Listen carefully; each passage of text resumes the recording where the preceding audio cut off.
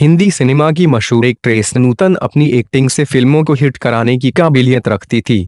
Actress Devanand से लेकर धर्मेंद्र, दिलीप कुमार, संजीव कुमार और अमिताभ बच्चन तक बड़े बड़े सुपरस्टार्स के साथ काम किया। नूतन की शानदार एक्टिंग के लिए छह बार फ़िल्म फेयर अवार्ड से नवाजा गया। इसके साथ ही उन्हें पद्मश्री सम्मान भी मिल चुका है। प्रोफेशनल लाइफ के अलावा नूतन पर्सनल लाइफ की वजह से भी सुर्खियों में रहती थी।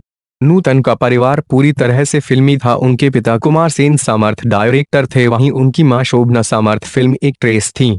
इसके अलावा उनकी बहन तनुजा भी सफल एक्ट्रेस हैं। नूतन और संजीव कुमार का किस्सा काफ़ी फ़ेमस है।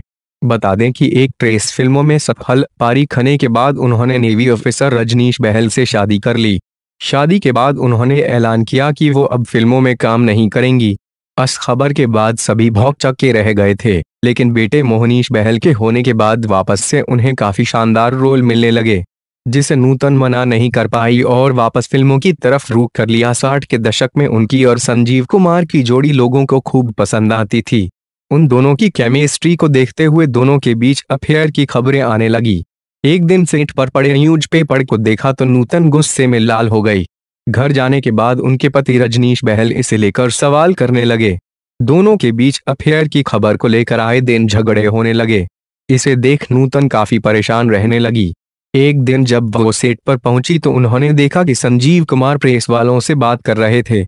ऐसा देख नूतन को लगा कि ये सारी अफवाहें उन्होंने ही फैलाई है, फिर क्या था? नूतन ने आव देखा नाता और संजीव कुमार को थप्पड़ जड़ दिया। इस थप्पड़ के बाद संजीव कुमार पूरी तरह से सन रह गए और वहाँ मौजूद लोगों को समझ नहीं आया कि आखिर उन्होंने ऐसा क्यों किया। बता दें कि इस बात का ज़िक्र उन्नीस सौ बहत्तर में एक मैगजीन में भी किया गया है। नूतन बेहद कम उम्र में इस दुनिया को अलविदा कह दिया था। जी हाँ बावन साल की उम्र में कैंसर की वजह से दम तोड़ दिया था।